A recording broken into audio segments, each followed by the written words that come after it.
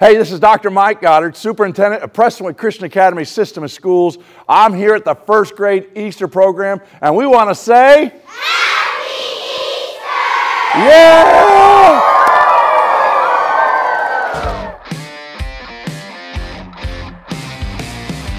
We want to invite you out to the Plano Spring Musical, The Music Man. You can get your tickets today and join us April 20th through the 23rd for this all-American musical for the entire family. I hope to see you out there. Congratulations to our five Plano campus seniors that signed letters of intent this week. We're excited to see them compete at their next level of their sports, but even more so glorify Christ using their talents. We want to also congratulate North students who are TAPS state champion, two-time state champion Noah Smith, and also Madigan Matthews, who got third place, and then also Toston and Glenn, who got sixth place. I'm really proud of all of y'all. In our Did You Know segment, I want to talk about PCA senior capstones. I want to first of all congratulate all of our seniors who completed their capstones this last week. It's awesome, they did a great job, but you know, it's a true difference maker for our kids. What it is, it's a culmination of taking their history classes, their English classes, and their Bible classes, and put it toward the portrait of a graduate here at PCA and making it through a literary work. They've done an amazing job. I saw it last year, I've seen it this year, and what they do is they look and see how the Christian walk is engaging in everything that they look at listen to, and how important it is and what they're going to be doing in the years ahead. So great job to all of our seniors.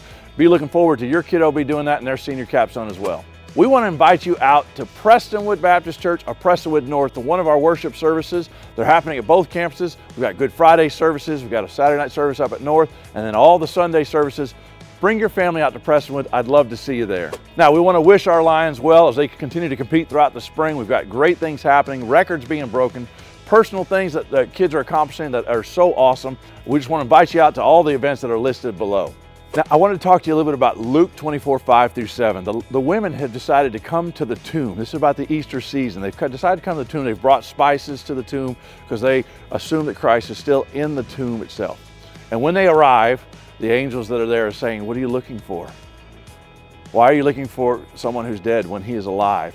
And you know what? It's to be a reminder that really, I've even thought about this the tomb was rolled away not for Christ, but for us to be able to know that the tomb is empty and that there could be appearance for that. And this is important verses out of 24, right there in, in Luke 24, that it reminds us that Christ is alive today. The whole point of this Easter season is that He is risen. He is risen indeed. And you know what? In our lives, we've got the same thing that He came for us, He died for us. There was a lot that happened in that period of seven days from Palm Sunday all the way to Easter. And I want you to be reminded that He came and died for you. He came and died for each and every one of us so that we can live just like He did. I love y'all.